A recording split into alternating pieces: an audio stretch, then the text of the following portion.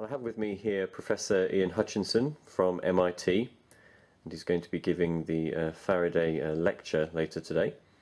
And I just wondered maybe if you could uh, start off by explaining to us uh, a little bit about the focus of the lecture and exactly what it is you mean by scientism. Right, well, the title of the lecture is Scientism How Much Faith Should We Have in Science?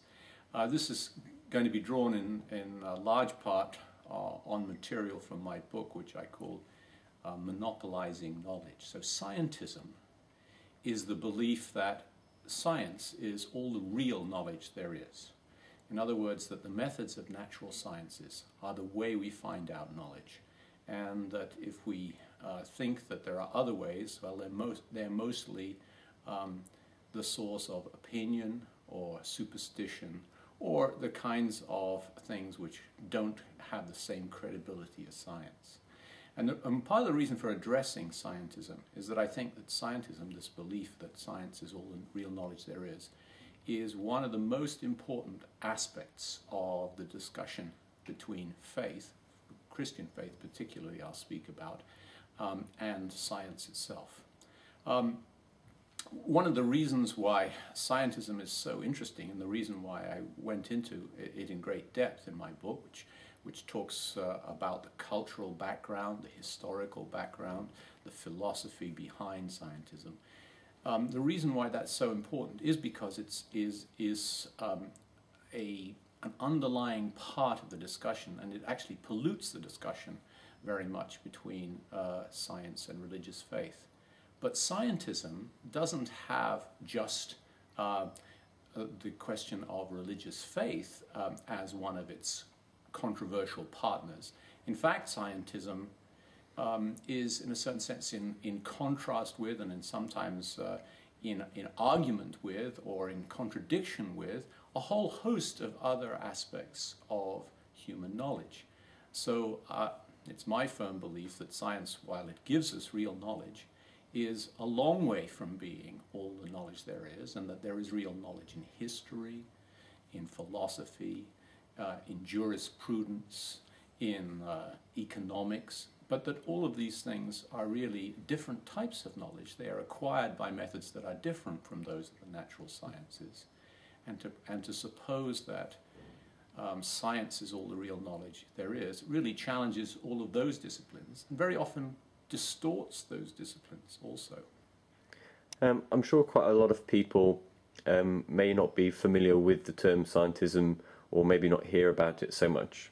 Uh, where do you think it ends up being advocated, uh, perhaps um, more covertly or less directly?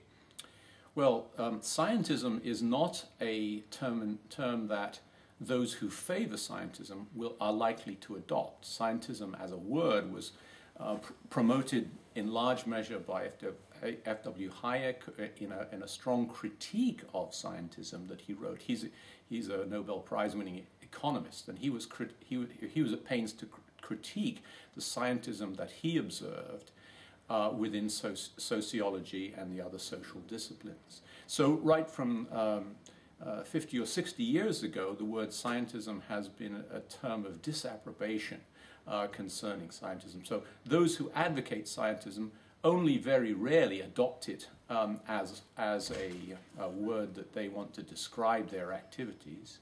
And also, um, by and large, scientism is not very explicit. It tends to be rather implicit. It tends to be an assumption rather than um, something which is upfront, uh, explicitly advocated. Um, so in my talk, I will um, discuss the, the less explicit aspects of scientism, but I'll also give you examples of, uh, in, the mod in modern writing, people who have kind of explicitly uh, adopted scientism. So the ways that it often arises um, is in, in, particularly in talking about uh, religious questions, um, are in statements uh, such as those which are commonplace um, in some of the um, anti-theistic writings of this century, um, where people talk about the question of God being a scientific question. Mm-hmm. Um, that kind of assertion is very widespread in anti-theistic writings, and um, and really, in a certain sense, it's a remarkable idea that the idea of the existence of God would be a scientific question in the sense of a natural science question. Because if one could think about almost any question that would, of all the questions that we could ask ourselves, uh, that might not be a scientific question. It seems to me that a metaphysical question like the existence of God is a prime example of a question which is not a scientific question. And so to insist that it is a scientific question can make sense or can go by, uh, can be accommodated, can be allowed, only in, a, in, a, an intellectual environment that is saturated with this implicit belief that, well, science is all the real knowledge there is. And um, so uh, th- that would be an example that I would give you. But I mean, I think that, there, that, that, as I was saying, scientism does tend to pollute even the non scientific disciplines, those disciplines which are clearly not natural sciences.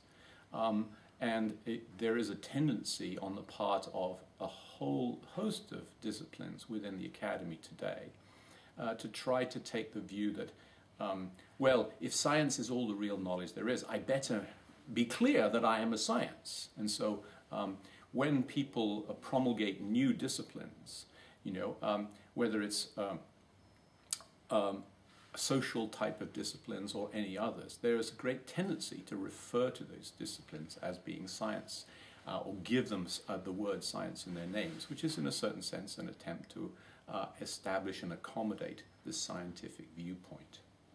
Professor Ian Hutchinson, thank you very much for your time. We look forward to your lecture later today.